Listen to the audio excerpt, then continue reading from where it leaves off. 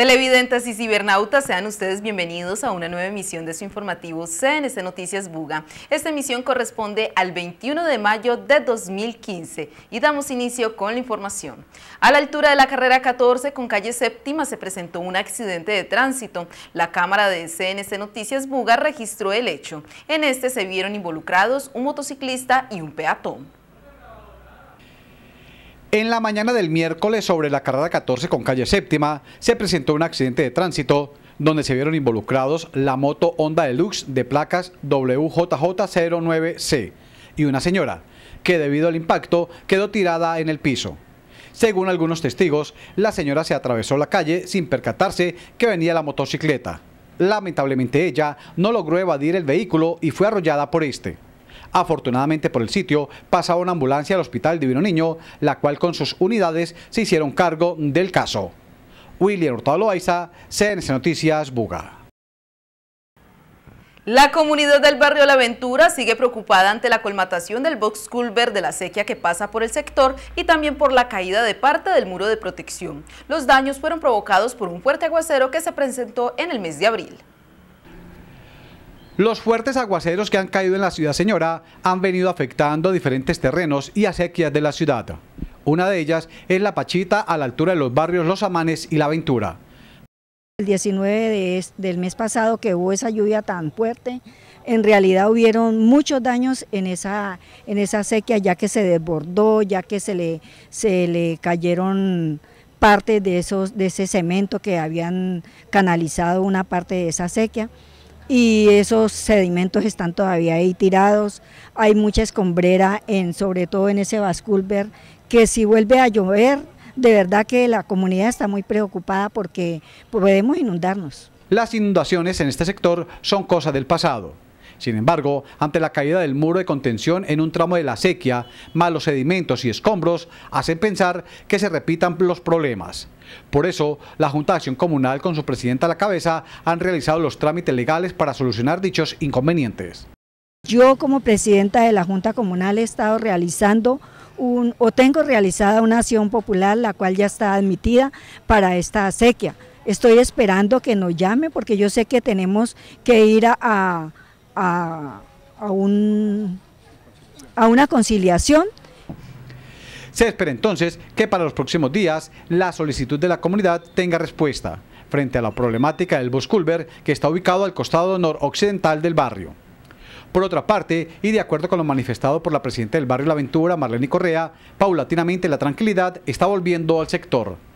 En cuanto a la seguridad, ha cambiado mucho. La policía ha hecho una gran labor en el barrio, ha concientizado mucho a los jóvenes pues que no deben de ocupar estos sitios. Todavía sigue habiendo problemática, pero ya menos. Así las cosas, los directivos de la Junta de Acción Comunal y los habitantes del barrio La Aventura esperan que las cosas vayan mejorando y que las inquietudes planteadas tengan una pronta solución. William Hurtado Loaiza, CNC Noticias, Buga. En otras noticias se cristalizó la donación de un lote de 3.000 metros cuadrados que la familia Cabrera le hizo al municipio para la construcción de la planta de tratamiento de aguas residuales para la zona sur del municipio. Una de las falencias que tiene el municipio es la falta de terrenos para la construcción y por ende, al no haber, se retrasa la consecución de recursos para tal fin. Por eso, y con el conocimiento de causa, la familia Cabrera cedió un terreno para la construcción de lo que va a ser la petar de la zona sur de la ciudad. Cedimos de manera gratuita este predio para que la comunidad del sur de Buga, del centro poblado de Quebraseca y toda la zona de expansión de esa zona de la ciudad tenga y cuente con una petar para que solucionemos los problemas que hay en este momento de contaminación de la, que están contaminando la laguna de Sonso y que podamos tener unas áreas de desarrollo para la ciudad. La entrega del terreno por parte de la familia Cabrera del municipio se llevó a cabo en la notaría primera, donde estuvieron presentes el alcalde Suárez Vargas, la familia Cabrera y algunos testigos. Con la firma plasmada en el documento, se dio oficialmente la entrega de las escrituras del terreno a la administración municipal, la cual deberá gestionar los recursos correspondientes para la construcción de la PETAR, que estará ubicada sobre la doble calzada Brisa del Valle, Sena, Costado Sur lo que beneficiará ostensiblemente no solo a los habitantes que ya están en el sector, sino a los proyectos de vivienda que están en marcha. En los recursos se está contemplando una ampliación de la red de, que lleva el agua potable para la comunidad de Quebraseca y las los desarrollos que están dando en esa región. Eh, con eso se le soluciona el problema que tienen las familias de Ciudadela del Sur y que viene a ser una realidad a corto plazo. Ahora solo resta esperar que los dineros que se han gestionado y los que están en proceso lleguen para dar inicio a una de las obras más importantes que tendrá el municipio en beneficio de la comunidad del sur. William Hurtado Loaiza, CNC Noticias Buga.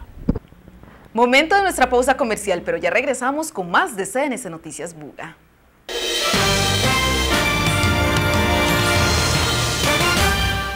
Ebanistería Lozano, arte a su medida. Elegancia, respaldo y tradición. Con muebles de Ebanistería Lozano se logran ambientes confortables con mucho estilo. Artículos decorativos para el hogar. Distribuidores directos de fábrica de colchones comodísimos. Visite nuestra sala de exhibición. Ebanistería Lozano, en Buga. Se está escribiendo una nueva historia con más seguridad, profesionalismo y calidad en la atención en salud de la región. Nacimos hace más de 30 años como urgencias médicas. Ahora somos mucho más. Una clínica moderna, bien equipada con tecnología de punta e innovación permanente, con toda la infraestructura y profesionales especializados para garantizar una atención de calidad y en el momento en que más lo necesites. Para nosotros lo más importante es el ser humano. Clínica Urgencias Urgencias Médicas. Su salud, nuestro compromiso. El agua es fuente de vida. En Aguas de Buga, S.A., ESP, somos responsables con la vida. Trabajamos para proteger las cuencas que nos abastecen de agua. Aguas de Buga S.A., ESP, responsable con la vida. Vigilado Super Servicios. El hurto y daños de medidores, problemas de fugas en las tuberías pueden generar sanciones. Sea legal, eso no le cuesta más. Evite cualquier tipo de conexión fraudulenta. Recuerde que la ley penaliza con prisión de 1 a 4 años y con multa de 1 a 100 salarios mínimos legales mensuales vigentes a quien se apropie de energía eléctrica, agua, gas natural o señal de telecomunicaciones en perjuicio ajeno sea legal. Eso no le cuesta más. Servigenerales SAESP. La diferencia en gestión comercial. Vital Odontología Estética Integral te brinda los mejores servicios de la más alta calidad a los mejores precios. Ortodoncia de última generación desde 44.900 pesos mensuales sin cuota inicial. Blanqueamiento dental, diseño de sonrisa, prótesis 2x1, todas las especialidades, profesionales altamente calificados, atención para niños y adultos mayores, valoración gratis. Vuelve a sonreír con confianza. Vital Odontología Estética Integral. Calle Sexta número 1636, teléfono 238-8520. Vital Odontología Estética Integral. Calle Sexta número 1636. Pide ya tu cita al 238-8520. Convenios con el Fondo de Empleados de Aguas de Buga, Juriscop, Buga y Copserviandina. El futuro de la ciudad está al sur. Ciudadela del Sur. Un nuevo proyecto de vivienda en Buga con el que se cumplirá el sueño de muchas familias de tener casa propia Ciudadela del Sur es el macroproyecto comunitario de vivienda ubicado en un sector rodeado de naturaleza, aire puro y tranquilidad. Anímate y haz parte de esta gran familia. Informes, carrera 15 784, teléfono 237 3941. Visítenos en la página web www.proviviendalasorquídeas.com.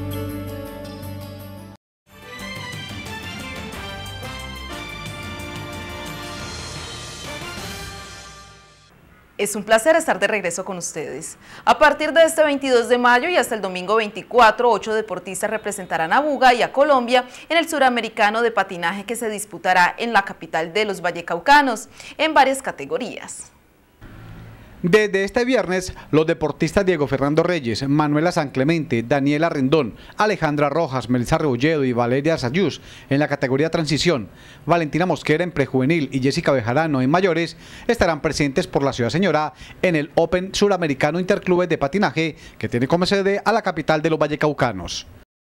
Celebrará en la ciudad de Cali en el patinódromo mundialista y en el patinódromo de la liga en las categorías donde venimos siendo los campeones absolutos que es la categoría de transición en damas y con muchas expectativas porque la verdad es que acabamos de ganarnos hace como un mes más o menos la copa de mejor club entonces aspiramos a que en este Open Suramericano con los 30 países que van a estar estar en los primeros lugares gracias a Dios. La delegación bogueña viaja al Internacional de Patinaje con miras de estar disputando los primeros lugares ante 30 equipos de diferentes partes del continente. El proceso lo llevo precisamente en esas categorías, en más o menos 17 años que completo como entrenadora de nuestra ciudad y con esos deportistas ya recogiendo los frutos de, de, tantos años de trabajo. Esperamos ser los campeones suramericanos en este Open y seguir trabajando también con las categorías que vienen más abajo, que serían las de los próximos Juegos Deportivos Departamentales más o menos en los dos años que vienen. El Club Yankee de Patinaje, desde este viernes, se trenzará en la disputa de los títulos de las categorías Transición, Prejuvenil, Juvenil y Mayores del Open Suramericano Interclubes de Patinaje. William Hurtado Loaiza, CNC Noticias, Buga. A partir de este viernes 22 arranca en Buga el Campeonato Nacional de Baloncesto Rama Femenina. Alrededor de 12 equipos estarán en los coliseos de la Ciudad Señora. A partir de este viernes 22 de mayo, con el Congresillo Técnico, arrancará en la Ciudad Señora el Campeonato Nacional Sub-17 Baloncesto Rama Femenina. El certamen contará con la participación de delegaciones de Antioquia, Bogotá, San Andrés, Chocó, Casanare, Cauca, Cundinamarca y la selección Valle A y Valle B Sub-15. Para este viernes, a partir de las 7 de la noche, se ha programado el Congresillo Técnico a realizarse en las instalaciones del Instituto del Deporte donde se realizará el sorteo para saber qué equipos inician la disputa del título el día sábado a partir de las 12 del día. De acuerdo al calendario, la selección Vallea estará cerrando la programación baloncetista a partir de las 8 de la noche en el Coliseo Luis Ignacio Álvarez Ospina. Los partidos del Nacional se disputarán durante 8 días e irán hasta el sábado 30 de mayo. La entrada es totalmente gratis. William Hurtado Loaiza, CNC Noticias Buga.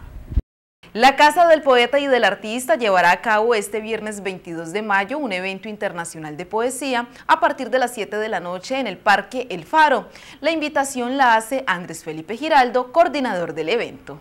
Invitarlos especialmente este viernes a que nos encontremos eh, por medio de la palabra, por la paz con justicia social, donde se va a desarrollar el noveno encuentro eh, de poesía internacional. Es allí donde vamos a, a, tener diferentes expresiones culturales como el, como el teatro, como la música y desde allí lo central es que también hagamos un clamor poético por la paz con justicia social.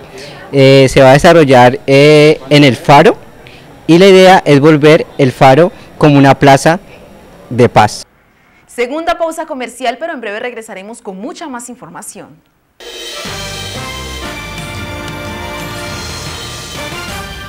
Conectarte con el mundo cada vez será más fácil a través de Meganet, el servicio de Internet que llega a hogares y empresas colombianas, brindando las soluciones más rápidas de navegación. Adquiere ya el servicio de Internet y pregunta por la promoción del mes. Llámanos a la línea nacional 018-116-242 o ingresa a www.meganet.com.co. Meganet te conecta. Cuando tenga una urgencia, busque al especialista. Urgencias eléctrica, electricidad comercial y residencial. James Arana, electricista certificado por Del Conte y la EXA. Urgencias eléctricas, calle 12, 359, teléfono 227-1504, celular 310-437-0750, en Buga. Clínica Odontológica Ortoestética. Tratamos las necesidades en salud oral con compromiso, calor humano, profesionalismo, ética y una gran experiencia, unida a la tecnología para ofrecer un servicio de alta calidad. Rehabilitamos pacientes víctimas de accidente de tránsito por medio del seguro obligatorio de su vehículo SOAT. Calle Primera, número 1684, PBX 236-6767. En la Clínica Odontológica Ortoestética hacemos sonrisas para toda la vida. Se creció, se creció. Ahora es mega chuleta, con el mismo sabor y calidad de siempre. Muchos nos han querido imitar, pero como el restaurante Don Carlos, solo hay uno. Disfruta de nuestros platos en compañía de tu familia y amigos. Carrera Octava 854. Restaurante Don Carlos Domicilios 227-3248 y 237-0635. Celular 317-692-7250. Servigenerales SAESP, la diferencia en gestión comercial. Somos la empresa líder en Colombia en apoyo y gestión comercial a la prestación de servicios públicos. En Buga manejamos la medición, liquidación, facturación y atención de peticiones, quejas y reclamos del servicio de acueducto y alcantarillado.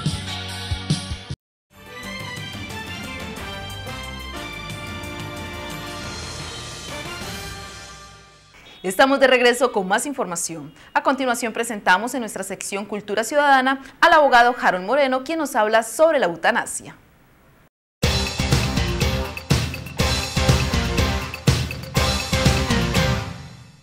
Buenas noches. Vamos a hablar de la eutanasia. El reciente fallo de la Corte Constitucional determinó que el gobierno debería reglamentar la eutanasia.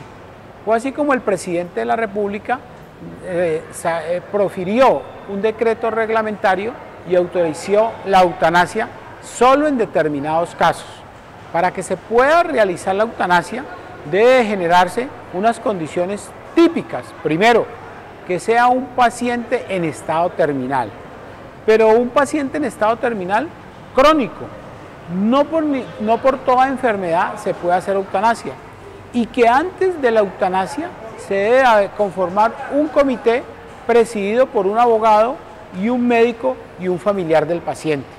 Es decir, es una forma de muerte digna, pero no se puede practicar en todos los eventos. Ah, existen muchas enfermedades que son terminales, pero que no son traumáticas o catastróficas. En estos casos no opera la eutanasia.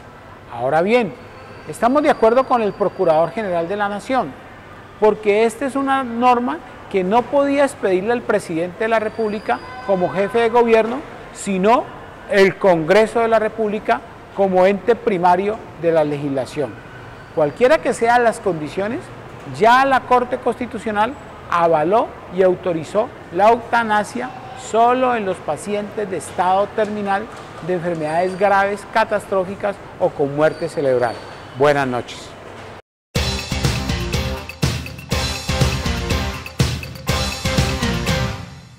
Conozcamos algunos hechos que son noticia en nuestro panorama regional. Yo estaba en el Banco Agrario eh, retirando una plata. Eh, cuando yo hago la diligencia, me dirijo hacia la puerta a llamar a mi papá para que me recogiera, porque pues dentro del banco no se puede hablar por teléfono. Cuando yo salgo, cuando yo voy ahí en la puerta, cuando yo veo que a un señor, aproximadamente 70 años tenía, era alto, delgado, como el, pelo era como entrecanoso, negro, entonces el señor se le cae la plata, entonces en ese momento se acerca una negra, o sea, no tan negra, más o menos como morena, más o menos de mi estatura, trozuda, muy elegante, muy bien vestida iba la, la, muchacha.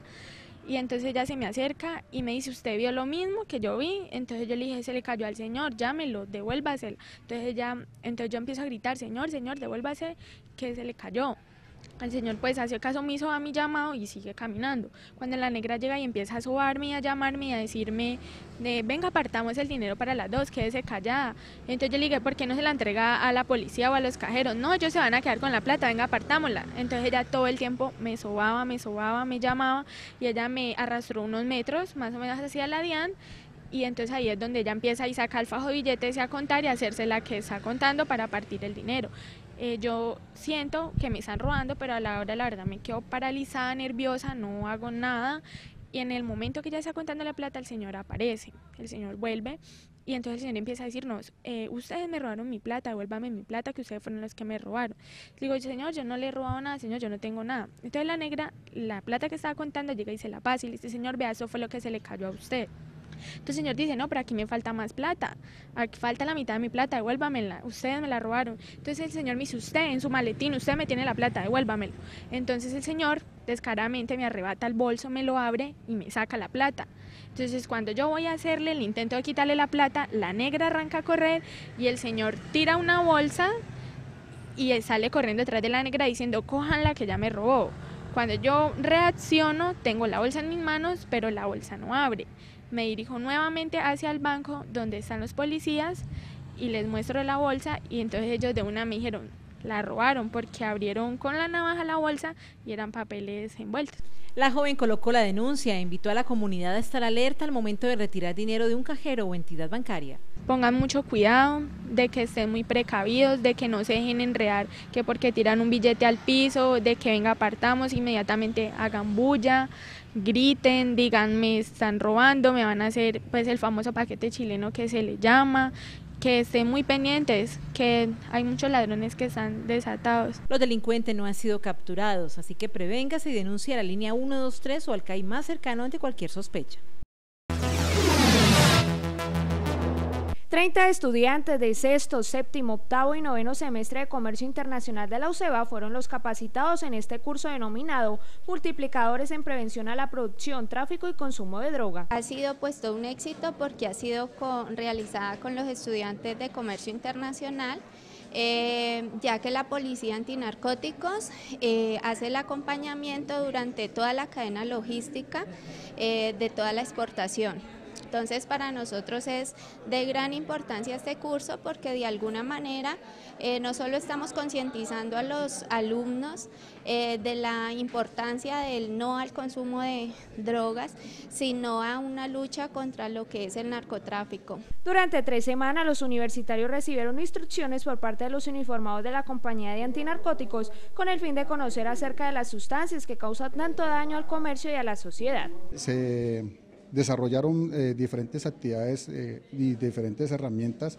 con las cuales se le entrega al estudiante de manera que pueda hacer frente al, al, tema de las drogas, al consumo de las drogas, a la producción. Eh, se trató básicamente de, de prevenir esta situación, esta problemática que hay en el país, de cómo no solamente hace un impacto y un daño social, sino también un daño ambiental y cómo podemos contribuir al mejoramiento de esto y pues posiblemente a extinguirlo.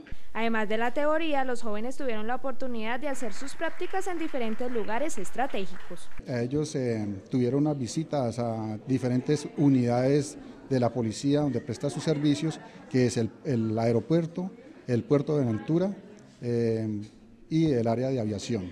Los jóvenes capacitados se comprometieron a ser multiplicadores, aportando y compartiendo el conocimiento adquirido con sus compañeros, amigos y familiares.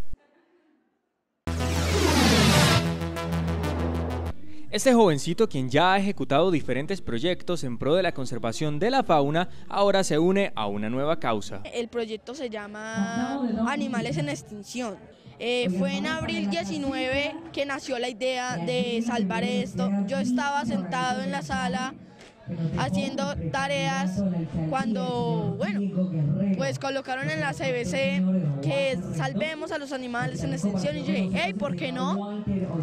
Si uno quiere, puede hacerlo. Y así llegué de lejos para hacer esta hermosa fundación sobre los animales porque se extinguen.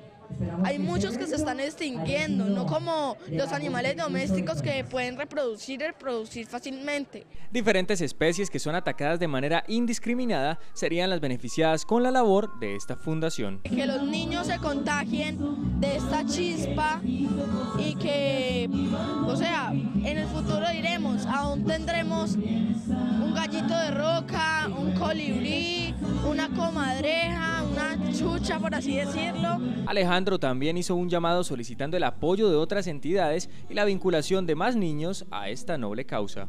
Quiero pedir apoyo a, por ejemplo, algunos comunitarios, que yo he visto que hay grupos comunitarios, porque, o sea, a mí me inspira mucho, me encanta que niños como yo existan, porque yo sé que hay algunos niños por ahí, no sé quiénes, no sé cómo, tienen la chispa como yo, por así decirlo, tienen la chispa en, el corazón de salvar a los animales. Quiero que me apoyen todos juntos a salvar los animales en vía de extinción. Obras sociales donde los niños luchan por los derechos de los animales en vía de extinción. De esta forma hemos llegado al final de esta emisión de su informativo CNC Noticias Buga, invitándolos para que estén pendientes de nuestra próxima emisión. Hasta pronto.